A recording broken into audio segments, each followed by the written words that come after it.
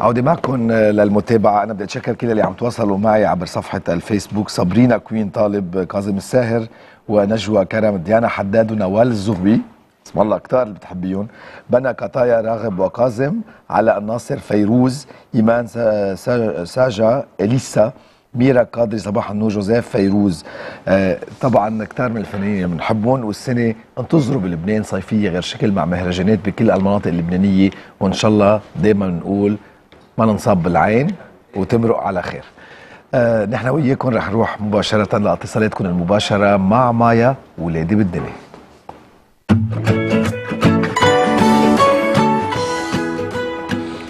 صباح الخير مايا. صباح النور جوزيف يعطيك ألف عافية. يعطيك العافية. آه، طبعا أنا رح بل- ببلش معك سؤال اللي عندي. اياه يلا في عندك سؤال مثل العادة؟ مثل العادة مش معقول جوزيف ما. يكون عنده سؤال مش وارده آه، في اتصال. ما في حتى ما اتصال؟ في سؤال. مجال.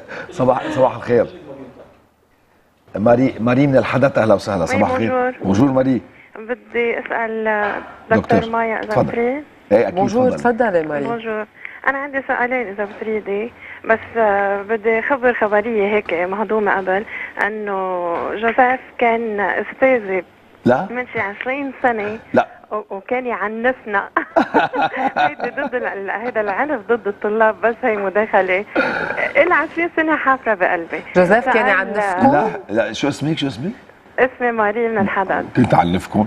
أكيد غلطان أكيد مش جوزيف إنه أنا كنت كنت بعدني بالجامعة مش معقول عنف طلاب. أكيد كان بز... كنت بعدني بالجامعة مش معقول كون ع- عنفكم يعني. كنت بفهم الطالب نو كان أكثر. يميز كان يميز طلاب عن بعضهم. آه. آه حرق حرق بقلبك هالقد؟ آه. هيديك ما كنت شاطرة يا ما ماري يكون في حدا وراي رشيكه ما يكون في حدا وراي رشيكه حدا حدا. إيه ماري تفضلي. طيب روحي. تفضلي. أنا بس بدي أسأل بدي أسأل بليز عن آه، الاولاد إذا راح ولد على اليونا بارك عمره تسعة أو 10 سنين وهرب قلبه مثلا بباتو أو بشيء هذا شيء صحي أو لا؟ أو عم بيلعبوا ب chambre noire وبننقص بعضنا وهيدا. إذا شيء هذا صحي ولا لا. وسؤال ثاني إذا بتريدي آه ايمتى فينا نخبر الولد إنه هو متبنى أو أي طريقة؟ مناسبة جدا حتى لا فينا نسأل نوصل له الخبرية بطريقة هيك ما ما بعرف مثلى. أوكي. ماشي أوكي. ماشي. هلا أول أول سؤال يعني عم تسأليني إذا هيدا شيء صحي. هلا اجمالا تعريض الأولاد لصدمات مفاجئة منه شيء صحي وسليم. يعني هيدا نعم. الشيء ما صار عليه دراسات. تقدر جاوبك أنا شو بيصير إذا نقز الولد بشكل آه، فجائي. ما في دراسات بتفرجي شو بيصير. بس إذا بدي أحكي طبيا أكيد في كتير دراسات طبيا وفي كتير مراجع طبية بتحكي عن مساوي إنه نحن اللي نعرض الولد لشوك فجأة أو لنقزة آه، فجأة. وأول شيء المساوئ بتكون على الصعيد الجسدي لأن نعرف إنه الولد بيعمل tachycardie كتير قوية وال- والشخص الراشد يعني مش بس ال- الولد. اللي هي طرقات قلب سريعة بتتسارع نبضات القلب أو طرقات القلب.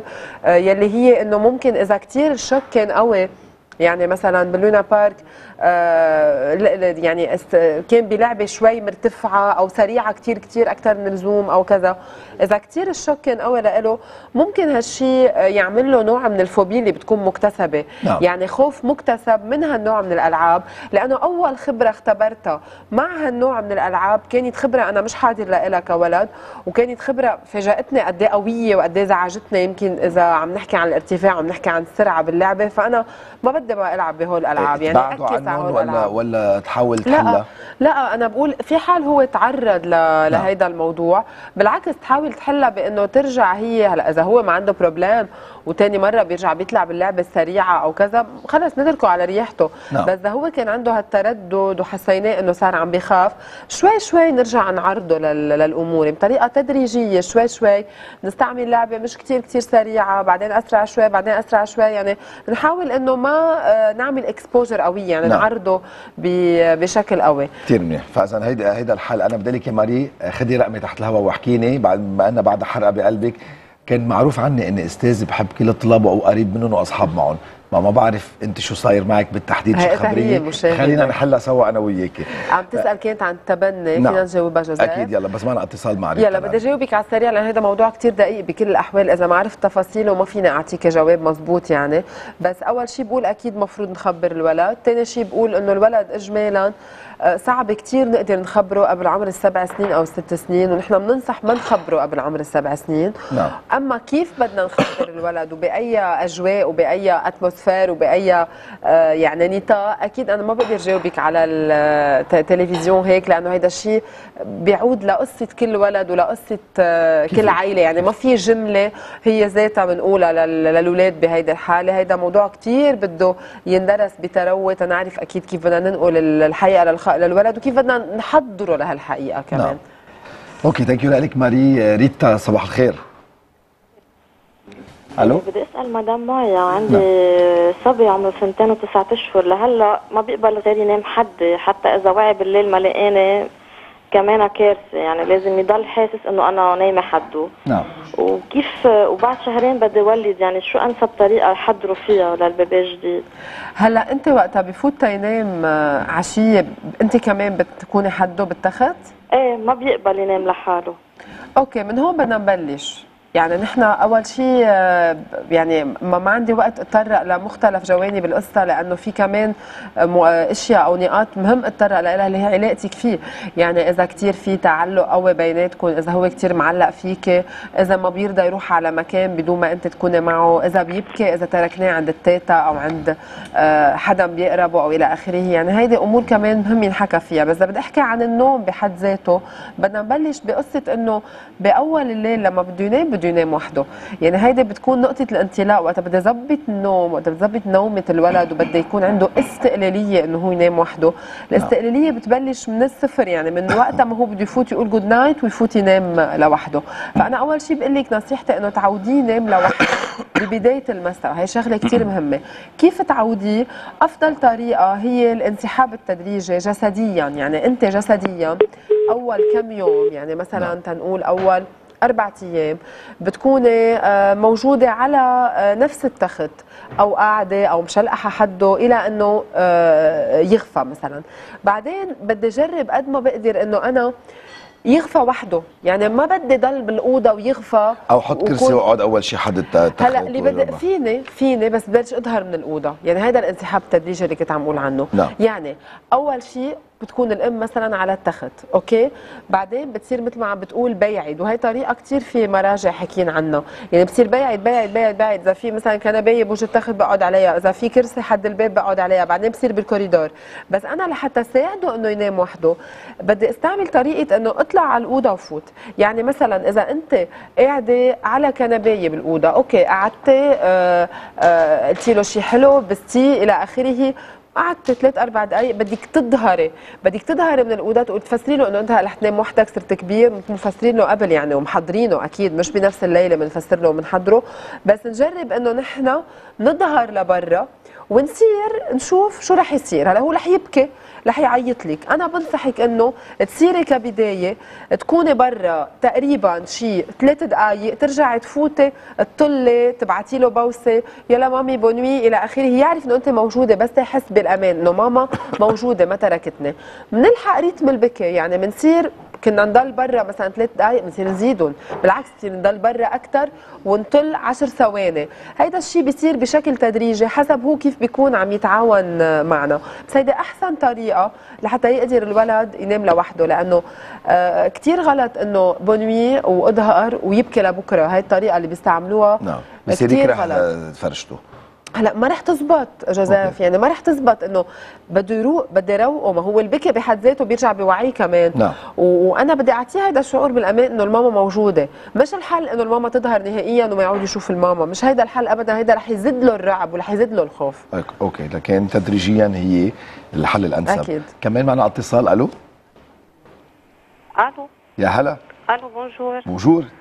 آه، في أحكي مع دكتورة مايا؟ أكيد تفضلي.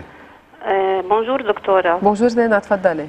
آه، أنا عندي ابني هلا عن جديد صار معه سكري عمره 8 سنين. نعم. هلا ما عم بيقبل يروح على المدرسة. مم. شو بدي أعمل؟ يعني شو الطريقة اللي بدي أتعامل فيها معه؟ المدرسة كثير حد تقبل حدا. بيعرف بالمدرسة ومن أصحابه؟ نعم. و- واضحة حسب قدام. أصحابه؟ نعم ما سمعت. عم يسألك جوزيف حدا بيعرف من أصحابه؟ وقت آه، لا، وضحت قدام أصحابه كلهم عرفوا والمدرسة وفي نرسة بالمدرسة وكلهم متفاهمين ويعني عم بي كثير عم بيساعدوه. هو شاطر كثير يعني بيطلع إذا ما بيطلع الأول بيطلع الثاني okay. ما هو شو بيقول لك؟ هو شو بيقول لك؟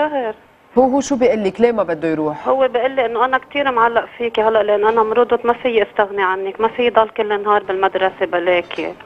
آه okay. هو آه، يعني عم عم يبرم الموضوع عليك إنه هو بده يضل معك أيوه أو قولي لهم خليكي معي إنه خليهم يض- تضلي معي أنت بالنهار. يا ماما ما okay. بيخلونا كيف بدنا نضل بالنهار إنه بالمدرسة؟ بقول لي أنا ما طيب. إنه ضل. ليكي وهو آه، بخاف يعني يصير معه أي شيء صحي؟ لا لا لا لا. هن كثير يعني عم يفحصوه كل شوي ومعهم المكنة والحمد لله ماشي الحال ورجعنا عم ننزل يعني ما في شيء صحي. بالعكس بالبيت. عم بنطنط وكل شيء وماشي الحال. وأنت حسيتي حالك أكيد بمكان معين من وقت ما صار هيدا الموضوع صرتي عم بتبالغي باعتنائك فيه؟ يعني صرتي أكثر عم بتضلي معه تحت نظرك أكيد ما عم أكثر بقى ابدا أكيد. إيه ما هيدا زاد التعلق فيك كمان.